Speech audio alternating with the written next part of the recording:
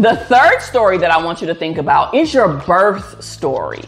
How did you actually come into the world? Now, like with pregnancy, there are so many different ways, nuances. There's no right or wrong way, right? I'm not here to debate on if you should have a hospital birth, a home birth, to get an epidural, not to get. I'm not here for none of that. I just want to put some questions and have some thought provoking conversations about what your birth story entailed. Truthfully, did you have a hospital birth? And did it go well? I literally remember my sister, she was um, having her second son, and her blood pressure was extremely high. And they were like, ma'am, it's dangerous for you and the baby. So we need to take the baby now via C section.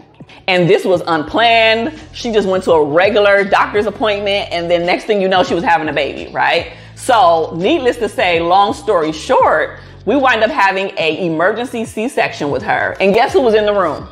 Me. I literally saw how my youngest nephew was born. I literally saw them cutting. I literally saw them him being pulled out. I literally saw my sister being duped up on the drugs and trying to be present but barely present, you know, and her concern because her son came so unexpectedly, right? This just is an example of how things can anything can happen during a birth story.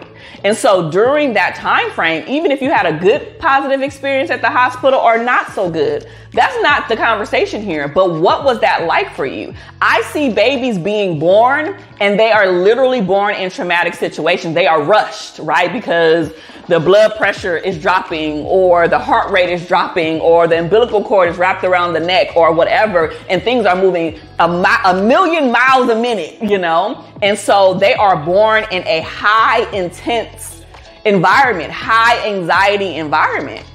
And so these are just some things that I want you to think about as you're thinking about how you were birthed into this world. Did you have a very, I'm not going to say woo woo, but you had, did you have a very woo woo experience where you were like, you know what?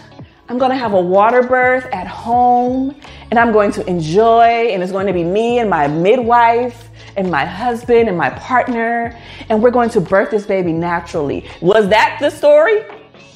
If it was, there's nothing wrong with that.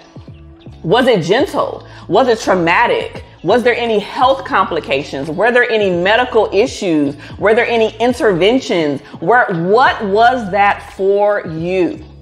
Get as much information as you can about that because that also colors how you are and how you play into this world.